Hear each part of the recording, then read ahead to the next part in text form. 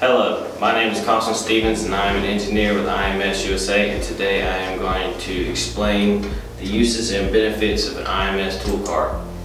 The cart in front of me here is for uh, the HSK 63 tool holders. It holds a load capacity of a thousand pounds and it can uh, tool capacity of about 26 different tool holders.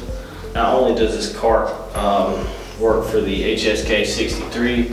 It will work with any tool holder that has a diameter of 63 millimeters, such as your CAT 40, your BT 40, and your ISO 40. Benefits for having one of these carts is that it will hold and store all the tool holders and tools that you need to do the job. Um, also, the shelves on this tool cart can be moved to satisfy your storage areas.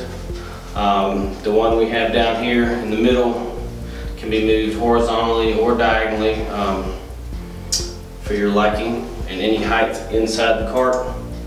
Uh, the cart has a compartment on the bottom also for additional boxes or tools or tool holders or any other tools needed.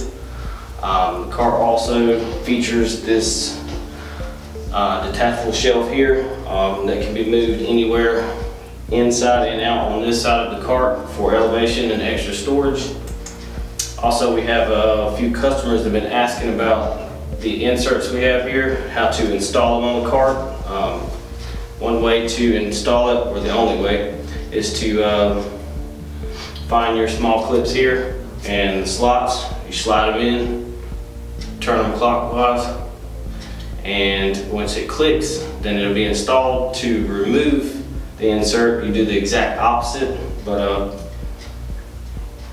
but once you get to the point where you turn it counterclockwise, you push in on one of the clips, and as you pull, it will it will remove.